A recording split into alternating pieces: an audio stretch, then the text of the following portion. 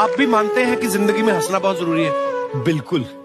Hundred percent हंसना बहुत ज़रूरी है जी क्योंकि दुख तो यूँ ही भरा पड़ा है। जिस ज़िंदगी में तो प्रॉब्लम होगी ना।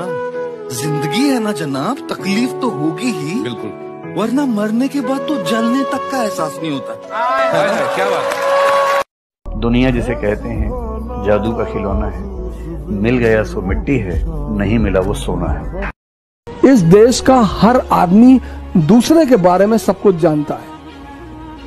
यही उपलब्धि उसे चपरासी बनाती है। यही उसकी उपलब्धि उसे चपरासी बनाती है। अगर वो अपने बारे में जान जाए तो अंबेडकर बन जाए। अगर वो अपने बारे में जान जाए गांधी बन जाए। अगर वो अपने बारे में जान जाए कलाम बन जाए। जानते हैं गाय दूध देती है? यस नो नो गाय दूध नहीं देती। गाय का दूध निकालना पड़ता है। ये पुराना पैटर्न है। भाई ऐसे ही कामयाबी सफलता अपने आप नहीं मिलती है वो भी निकालनी पड़ती है। तो ये लाइफ में कुछ पाने के लिए हमारे को कुछ खोना पड़ता है। Would you agree with me yes no no कुछ पाने के लिए कुछ करना पड़ता है खोना नहीं पड़ता है। तो ये हमारे बड़े पुराने पैटर्न है, है जी? क्योंकि डर के आगे नहीं होती है जीत डर के आगे दर्द होता है। उसके बाद सीखे तो फिर जीत होती है। पर चक्कर क्या है? हमारे पुराने पैटर्न बड़े सारे बने हुए हैं। सिंपल सा नियम है। तुम जीते तो सबके रिश्तेदार। तो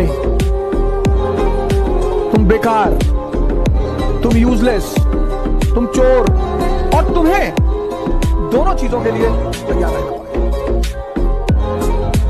बेटा, सबसे बड़ी चीज़ जो हमने खोई, वो है हमारा दोस्त, हमारा हीरो हमारे आइडल बिज़नेस डूब गया, कोई बात नहीं। दोस्त अगर साथ होता तो बिज़नेस फिर से खड़ा कर लेते।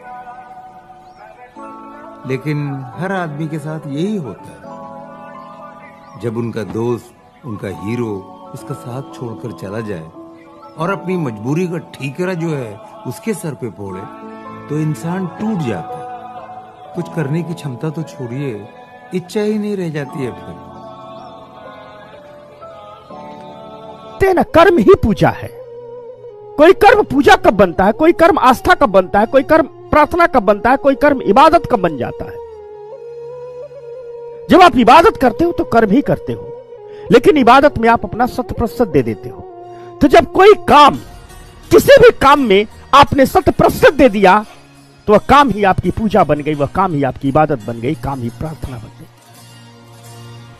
माँ जब रोटियाँ सेकती है ना तो उस रेट रोटियों में वो अपना शत प्रतिशत दे देती है। इसलिए बेटे के लिए माँ की हाथ की रोटी अमृत हो जाती अच्छा पैसे कौन देगा ऑनलाइन पढ़ाने के?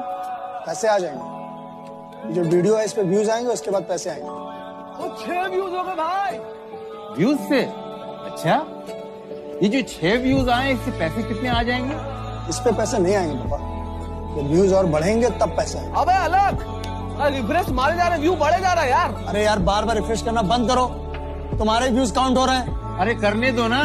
अब जब व्यूज़ के भरोसे ही घर चलना है तो लाने दो ना उसे। अरे ऐसे नहीं होता ना बाबा तो कैसे होता है? अच्छा भला तो घर चल रहा था कोचिंग चल रहा था तो उसको सबको ध्वस्त करके यहाँ से चले गए। अब कह रहे हो कि ऑनलाइन पढ़ाएँगे।